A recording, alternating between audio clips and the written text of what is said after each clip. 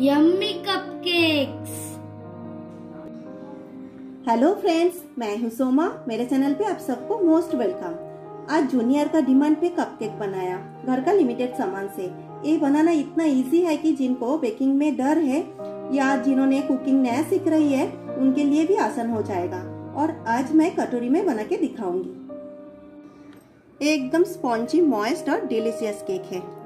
कितना जालीदार है देखिए। तो चलिए कुकिंग स्टार्ट करते हैं। रवा केक या सूजी केक बनाने के लिए मैंने एक कप बारीक रवा लिया और हाफ़ कप शक्कर लिया। ये दोनों को मिक्सर ग्राइंडर में अलग अलग पीस लूँगी। रवा और शक्कर को पीस लिया, अभी नेक्स्ट प्रोसेस में जाऊँगी। अभी एक मिक्सिंग बोल लिया, इसमें हाफ़ कप फ्रेश दही डाल दूँगी।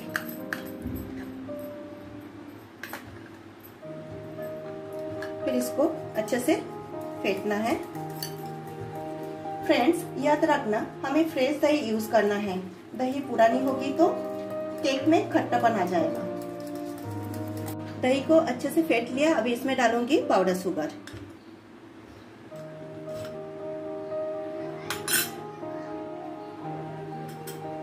साथ में मिला लूँगी अच्छे से।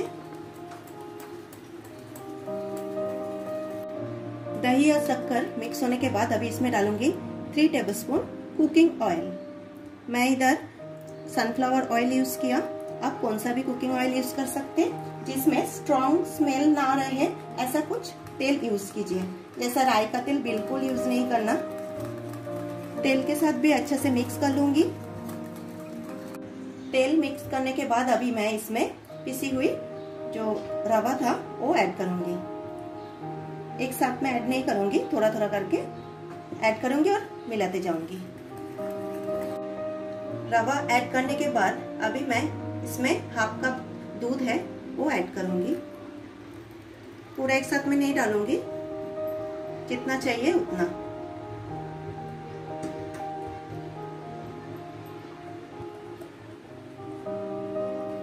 फ्रेंड्स एक इम्पोर्टेंट बात केक बनाने के टाइम एक ही मेज़रमेंट का आप यूज़ करें। मेज़रमेंट ठीक नहीं रहेगा तो केक बिगड़ जाने का चांस रहता है। सारी चीज़ मिक्स हो गया। अभी ये बैटर को मैं 15 मिनट के लिए ढक के रेस्ट होने दूँगी ताकि ये अच्छे से फूल जाए। फिर फिर मिलते हैं 15 मिनट के बाद। रवा जब तक रेस्ट हो रहा है, तब तक बाकी का तैयारी कर लेते हैं। मैं आज कढ़ाई में केक बना के दिखाऊँगी। सो कढ़ाई को गैस में बिठा दिया प्रीहीट के लिए। आप कढ़ाई के जगह दूसरा बर्तन, जैसा हंडी, भगोना, कुछ भी ले सकते हैं। ध्यान रखना, उसका बटन थोड़ा हैवी रहे। मैं कढ़ाई में नमक डाल दिया, ताकि गैस का हीट पैन के अंदर इक्वली मेंटेन रहे। ये नमक मैं कई बार यूज़ किया, इसके लिए इसका कलर थोड़ा चेंज हो गया। अब इसके ऊपर एक स्टैंड रखूँगी। आपके पास स्टैंड नहीं रहेगा तो कौन सा भी एक कटोरी लेके उल्टा करके भी रख सकते हैं। स्टैंड के ऊपर एक प्लेट रख दिया। अभी ढक्कन बंद करके पाँच मिनट के लिए प्री हीट करेंगे। आज कटोरी में केक बनाऊँगी तो पहले कटोरी को ऑयल से ग्रीस कर लेते हैं। सारे कटोरी में ऑयल ग्रीस कर लिया। अभी रवा की तरफ़ चलते हैं।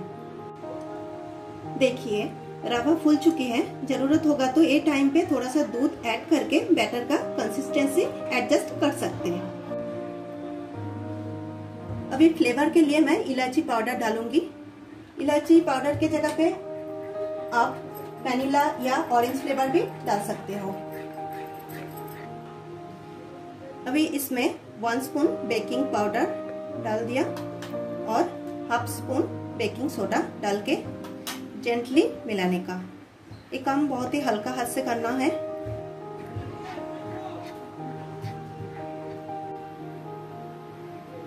बैटर का कंसिस्टेंसी ऐसा ठीक रहेगा। अभी बैटर को सारी कटोरी में डाल दूँगी।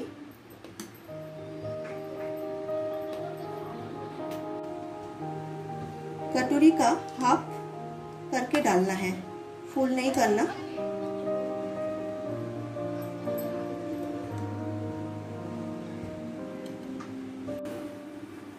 और ऊपर से कलरफुल होममेड टूटी फूटी डाल दिया, थोड़ा अट्रैक्टिव होने के लिए। ये टोटली ऑप्शनल है। अभी कटोरी को कढ़ाई कढ़ाई के अंदर रख दूँगी। कटोरी को कढ़ाई के अंदर रख दिया। अभी ढक्कन बंद करके 15 मिनट के लिए वेट करूँगी। गैस का फ्लेम एकदम लो रहेगा। 15 मिनट के बाद एक बार मैं केक को चेक किया, तभी थोड़ा कच्चा था, इसके लिए मैं और 5 मिनट रखा है। अभी देखते हैं। क्लीन आया ये मतलब केक रेडी हो गए। अभी मैं इसको ठंड होने के लिए रख दूँगी, फिर कटोरी से निकाल के दिखाऊँगी। अभी एक स्पून के हेल्प से इसको निकाल लूँगी।